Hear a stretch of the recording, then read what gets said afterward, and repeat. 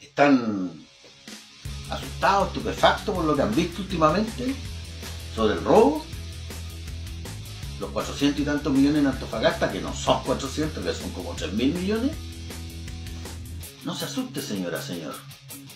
En Arica, en Puerto Montt, en Valdivia, en Coyhaique, en todas las regiones del país y en todas las municipalidades del país, los políticos, la clase política, ocupa esa parte del Estado para robar. ¿La izquierda está metida en esta vuelta? Sí, efectivamente. Estos mismos chicos que decían que los, los viejos chanzaqueros, la concepta, la corrupción, bueno, resultó que los jóvenes, los nuevos jóvenes de izquierda, socialistas, comunistas del fraude amplio, son más corruptos, son más ladrones, son más cogoteros, son más penca que los otros viejos. ¿Por qué la derecha guarda silencio? Porque la derecha también hizo lo mismo. Todos hacen lo mismo. Para eso quieren el poder, no para mejorar el país. Quieren el poder para usufructuar del poder, para vivir del poder, para robarse el país. Esa es la política, la casta política que tenemos. Yo le ofrezco un camino distinto.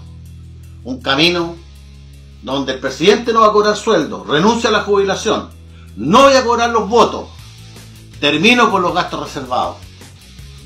Ahí está la diferencia. Ubiquen otro candidato que le ofrezca lo mismo.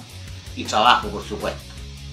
Y de una vez por todas, este país, de los 86 mil millones de dólares del presupuesto anual de la nación, yo calculo que se roban 36 mil millones.